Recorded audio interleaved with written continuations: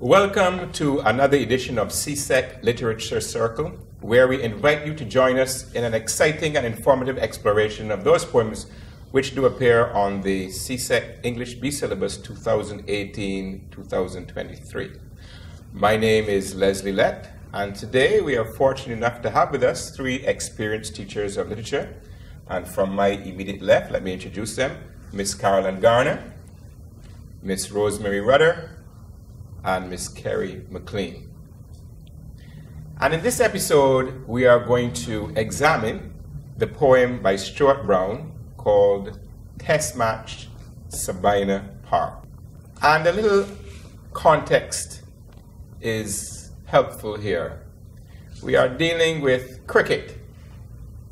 And uh, cricket has been for a long time been very important to West Indian civilization. It's been used as a metaphor for West, Indies, West Indian identity, self assertion, um, expression, our creativity, and also our protest against forces external to us.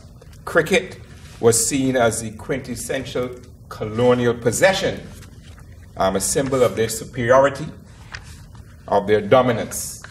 And cricket was used by West Indians to turn that on its head.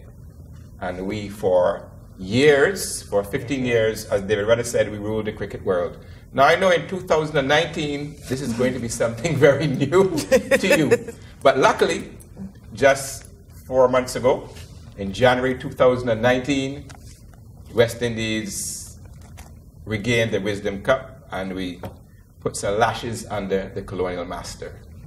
So cricket has always been seen as that, ex- that experience, that event that West Indians have taken, adopted from the foreigners, and have beat them at their own game. It also impresses upon us the federal, the federal mission.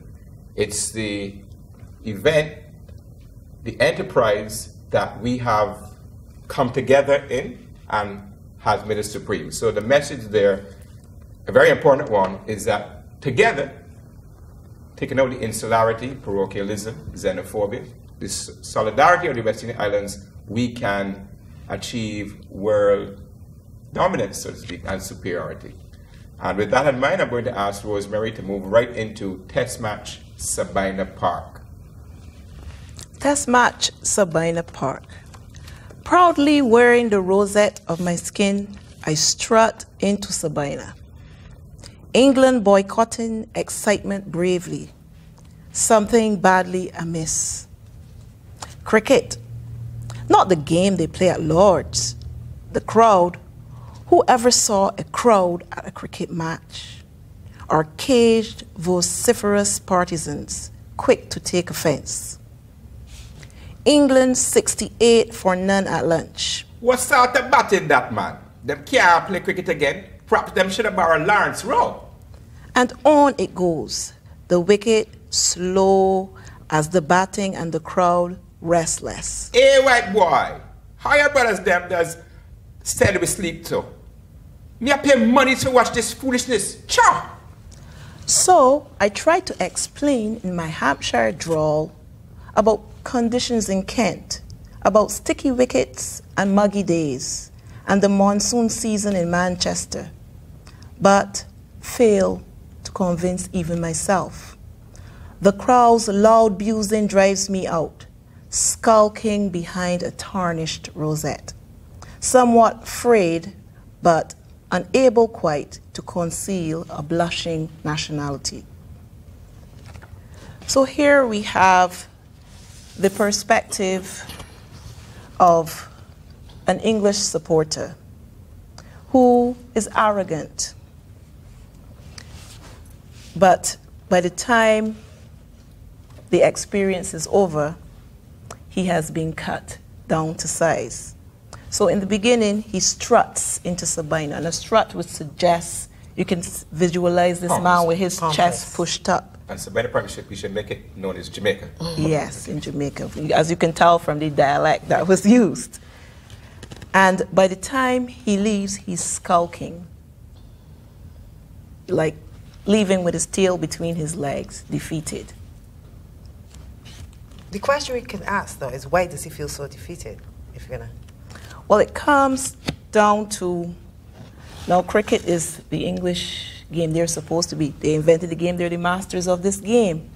And how dare these caged, which would suggest animalistic people, take their game and make it into something that is not, as, as um, explored at large. The poem really, as Leslie would have suggested when he was putting it in context, explores the idea of identity. I, um, we take something, we make it our own.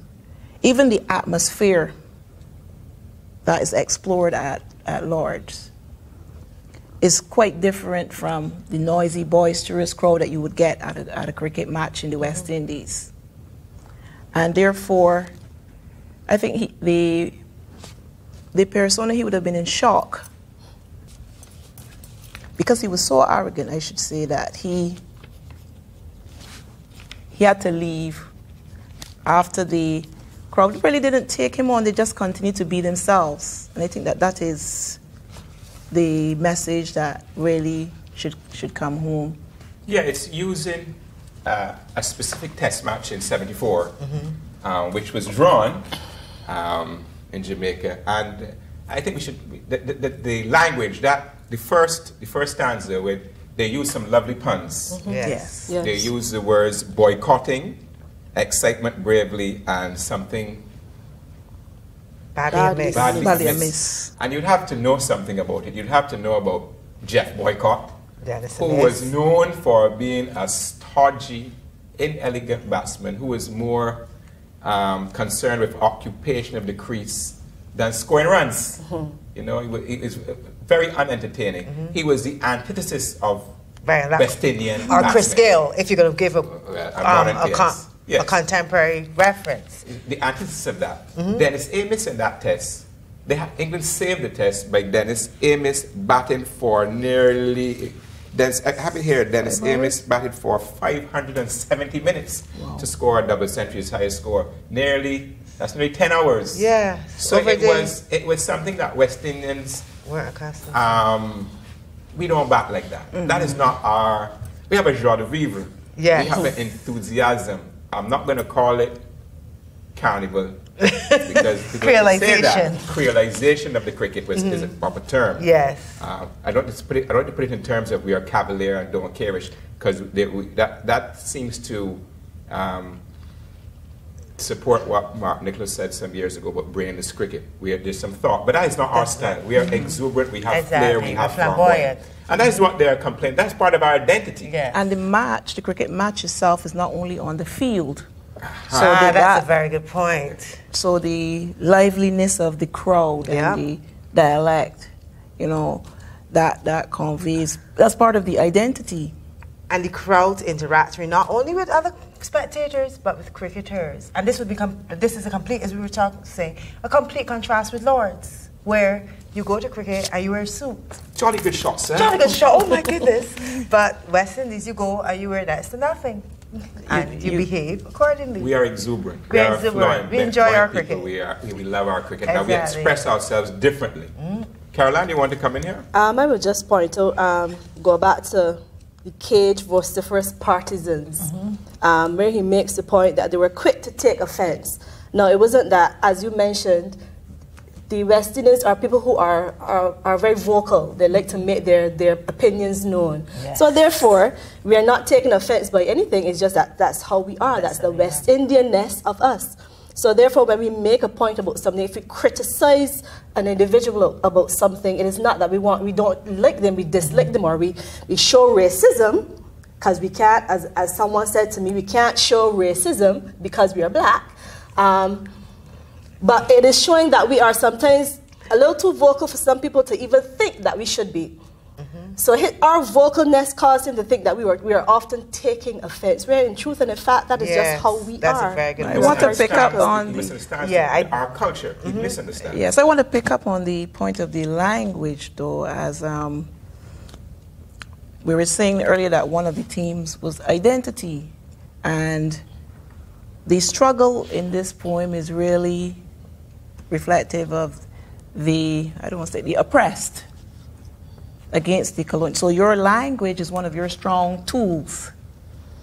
And you would notice in the poem that although the persona tried to use his Hampshire drawl, the Busen drowned him out. All right, and that's our that that in a sense was a rejection of the of the colonial frame. framework. Additionally, um, as you spoke on the language, if you noted, he did use the Jamaican dialect, but where is his Hampshire drawl in quotation marks? Mm-hmm. What does he say specifically Yeah. to those people to make his point, to put his point across? I don't even think he had a point because he said, He "I tried." It gets driven out, as line 23 say, it gets driven out. It gets driven out, but even but even himself, he mm-hmm. said, "I failed to convince even myself." So I think that that reinforces the point of that when we're unified, when we're unified, we stand in a, in a, in a better position. I have to say something, Caroline, and I wanted to both now you've brought two things which can black people be racist? I know this clearly we associate racism with black oppression. However, this is a ma- blacks here are the majority, so I think we can. Be, I think blacks can be racist. The other thing you said about Caribbean unity, we know as West Indians and the impact of cricket that it was a unifying force. But is that really spoken to in this poem? And I think this is what we students have to be really, really careful of. And I know I do it because I'm human. You bring in your own personal bias and your own personal experience into the analysis of a poem. And I think we have to treat them, obviously, putting in context helps with understanding, mm-hmm. but I think we also have to look at internal integrity within a poem. We know because it's West Indian cricket here mm-hmm. that cricket was unifying, but is there anything within In this poem. poem that suggests cricket being a unifying force among in the West Indies? Is that addressed or is it just just Jamaica here, Test match Sabina Park. For, as I'm reading, it could be Test match Kensington Oval or mm-hmm. Test But the, um, you're exactly as you said, it could be. Mm-hmm. So it's represented any of the regions, any of the Mm-hmm. exactly, but I do not think the unifying force that is cricket is a significant theme here. The unif- the stamping of our West Indian identity, yes, but this poem does not speak to the insularity between the Well, nations. the- I didn't say the unifying force of cricket, but the idea of coming together because they were seen as a. It was him. It was the coming together at this persona. It was the persona, mm-hmm. and it was the the crowd. Crowd. They were all lumped. To, Yes, and this but, is well, his. but not West Indian islands. The crowd is in all the different spectators. but the the ones that were vocal That were bec- abusing. They said would have been would have been the Jamaicans. Jamaicans here. Mm-hmm. There's nothing to indicate that there weren't others. But that there's, exactly, but there's but nothing what- to indicate that there are other nationalities here. but I don't. I don't. you No, let's not this is- nitpick is- at that's, that. That's important in here because we, the, the context is cricket is Yes. a West Indian enterprise Yes. Mm-hmm. which we have been very successful. It has to be set somewhere. Yes. Okay, but I want to pick up the point that you made about it. Race cannot we cannot ignore race. Mm-hmm. Race is a topic base, but I think we have to be very careful when to make a distinction between racism Mm-hmm. and prejudice. Racism is the belief that your race is inherently superior to another race. And I, the historical experience has, has not shown me that this has ever been something with which black people have been afflicted. I think we can be prejudiced. I think we can be bigoted. Those are bad things. But I do not think um, racism would quite would fit there. But race is a is a um, The, the idea that race is issue an here. issue comes out from the beginning because his skin He's seems Rosette. is a Probably, rosette. I'm. Probably. So he figured because he was he he he was white a particular color. yeah. and he was from England because it was not only a matter of of race but we own cricket. yes. This is the characteristic colonial mentality. This Yes. is ours. We own it. Yeah. And you're proudly strutting. The rosette is, of course, a badge of honor, but it's Mm-hmm. also pink, the, the, the Caucasian skin. He goes in all proud. And the experience of it all, the interaction with the West Indian crowd, as you said, you said at the beginning, cuts him down to size. It, cricket, therefore, cricket as a, as a leveler is also an yes. important theme. Cricket is a leveler. And on in the social interactions, we know there was uh, oppression, but on the cricket field, where everybody where, where has an equal chance, we can dominate. Yeah. And I think it's important that the, the West Indian creativity in, in taking things, shaping things that forces that were to your detriment, Because the, we the- can we can turn them around, even with our foods. that point is that. that point is brought up because he said perhaps them should have borrowed Lawrence Rowe. Yes. Exactly. Lawrence Rowe made 120 in that in that um, Okay, Yeah, in that that's- man. I want to add to what you said too. Um, the crowd's loud abusing drives me out. Who's to say that the crowd was only Jamaicans? But it is not. I'm saying that that is not the theme. That is not the. Unif- okay, as a West Indian and knowing how much insularity exists between the countries, there is nothing in this poem that speaks to this insularity. We're assuming this because of our Our our knowledge. Yes, mm-hmm. and you were saying about the the proud rosette goes to the. This is totally goes from being proudly the rosette to it becomes tarnished. It becomes something dirty, mm-hmm. something to be ashamed of. The very Englishness that he mm-hmm. thought was the feather his cap at the beginning becomes a source of embarrassment. As you said rightfully, they've cut him down to size. And they've cut them down down to size using their own vernacular rather than he Another attempts. rejection of the colonial Yes. experience. We- we reject your language. We'll speak Yeah, our yeah, own we language. speak- mhm. and he can't even open his mouth. All right, that's in play. Or he attempts, but when he Yeah. attempts, it's failed. Yeah. It's I want to look at that image. The crowd. Look how the crowd is. The West Indian crowd is described. Predominantly black crowd would have to be. They are caged and vociferous. Caged and vociferous. What, what, can, what do we have to say? What, what can we say about this? When you think of a cage, straight comes to mind a zoo, animals. Wildness, mm-hmm. untamed. exactly. So, for him to come and ex- if that's his perception, for him to come and expect that they're going to sit like the people at Lord's and clap, you know, he he from the beginning then was admitting that his perception of them mm-hmm. it, it was flawed. Yeah. And I like the contrast between stanzas two, stanzas sorry, three and four, where you actually hear the West Indian crows, Yes. the vitality and the, the exuberance of them, and then you have the reported, as Karen Yes. and reported speech of stanza, Stanza five, where five. you just hear about the draw and what he says. They you don't hear said his language at all. themselves. Mm-hmm. The contrast brings out, it contrast heightens the, the, the, the, the vitality of the West Mm-hmm. Indian crowds and the very staidness and stodginess of the Englishman. And the comment you made about racism and the impl- implicit in the racism is something malevolent. The thing about it, even with, there's no malevolence in this crowd. It's even an white the- boy. air white boy. It's racialized, and that's the thing. I think that in this era of exactly in That's this era point I like to make. in this era of political correctness, we often don't recognize the difference between something being racialized and something being Racist. racist. Mm-hmm. There's no Different things. malevolence between the mm-hmm. relationship and the interaction he, between the West Indian spectators and him. Hey, and anybody who's ever been to a cricket match can attest to this. We West Indians like to take the mickey out of people. And they will do it Very English racially. phrase. yes, it's very English. It's very I know. ironic that she I know, that. but I, because we don't have a we don't Probably have West a Indian vision. counterpart What not would be be the West Indian? cannot be co- mentioned. Yeah, but yeah, exactly. That's why I had to sugarcoat it. The West Indian, and but we do it, and it's no hard feelings. But he, he ain't accustomed to this, and so it embarrasses him. But of note, he mm-hmm. said they are quick to take offense. But Yes. he's, But yet he left, left. before Yeah. the match was finished Indeed. because mm-hmm. It, they weren't playing his, his, his way.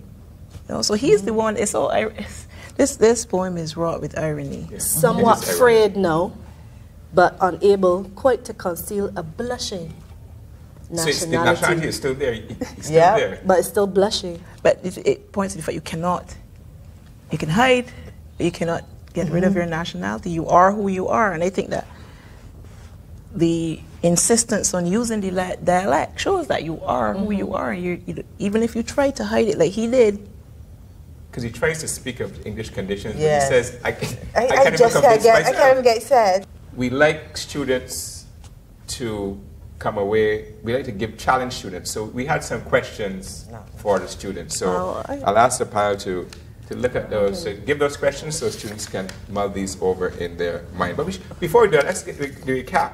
Is cricket being the leveler? We're looking at um, the idea of national identity identity, self-assertion, mm-hmm. and unity. unity. Debatable, but yes, unity. But we know this. We know what we we have been. The only thing we've been have we've had worldwide domination is is a, an enterprise where we have come together as islands Exactly. for 15 years. I know this would be unfamiliar with, with young people. Yes. Can we just get licks, licks after licks after licks? Caroline, yes. One of the questions I could possibly pose to um, students is can you see a place where individuals of West Indian descent outside of cricket can be so unified that they would stand together against somebody who is not of a similar class or race? One of the pertinent questions I would encourage students to try to answer is Is there a distinction between racism and prejudice? Gary. Okay. Can black people be racist? And how do we differentiate between simple racialization or as opposed to racist behavior?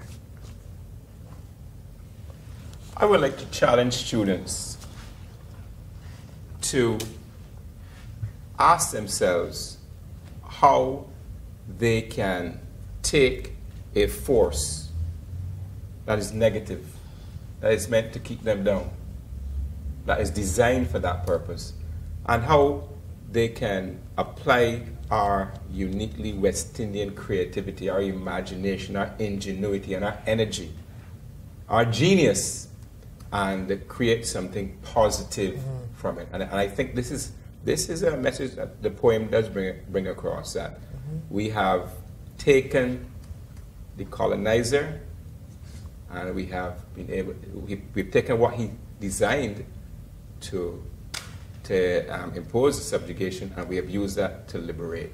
Yes. And I think that's important how you can turn a negative into a positive. And I challenge students as they go about their daily living to think about how they can manage this in all their spheres. I hope you have found the discussion on this poem helpful to you and uh, it will help inform your own criticism and examination of the poem. This has been another episode in the series CSEC Literature Circle.